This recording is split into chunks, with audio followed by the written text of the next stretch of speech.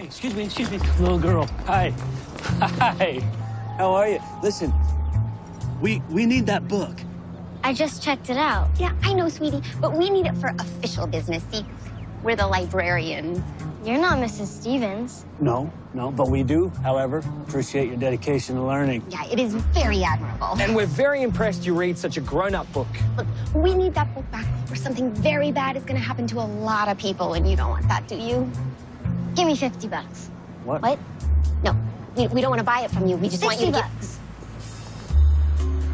Now you listen to me, young lady. We're 75. I like her. Tick, tick.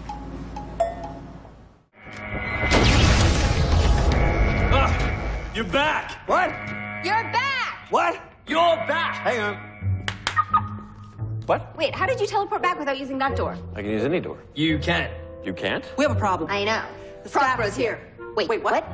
We received this note from a previous librarian saying that the staff had been removed from where we thought it was hidden and hidden somewhere in this library. Prospero broke in while you guys were gone. Seriously? It's the third time this place has been broken into since I started working here. We're gonna have to have a serious talk about the so-called security system. He made Jenkins put the place on lockdown. We're shut out. Okay, nobody panic. This is an alpha level alert. It's an easy fix. What we need to open these doors is. Yeah, we were just about to... Yes, that. But to get the passcode, what we're gonna have to figure out. Your day, date, hour, minute divided by the corresponding coefficient, play, act, scene, word. Have it in three, two, one. Thornton. Very good. So you have all passed my test.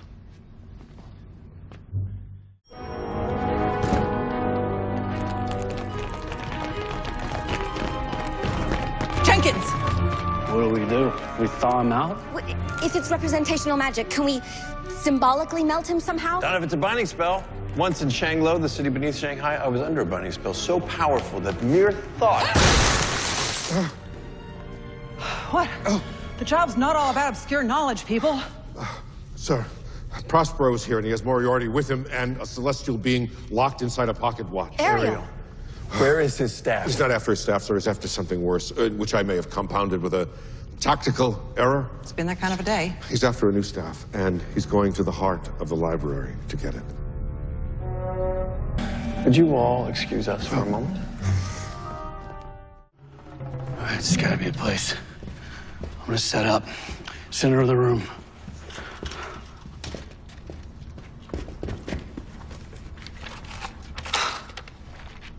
Blank pages.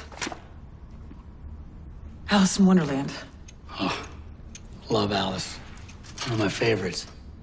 Frankenstein.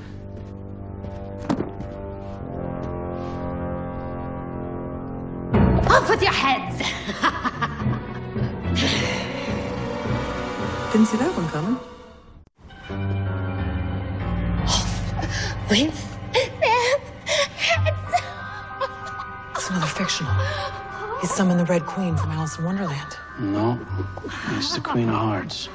Red Queen is from Through the Looking Glass. There's a difference? Off with their heads! Off with their heads! Off with their heads!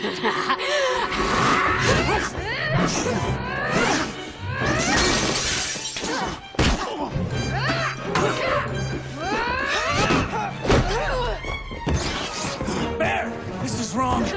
In the books, you ordered beheadings, but it clearly states that they were pardoned. Don't Take the crazy axe lady!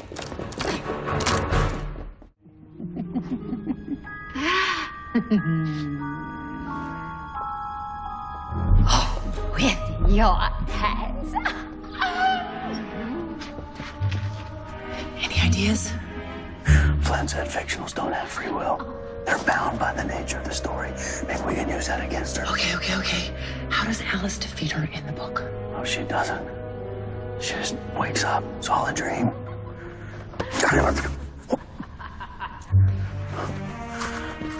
Worth a shot. Okay, if we can't beat her, can we banish her? Send her back to Wonderland? The only way to Wonderland is through the rabbit hole. or Through the looking glass. Okay, you keep her distracted with Wonderland stuff. I'll look for lights.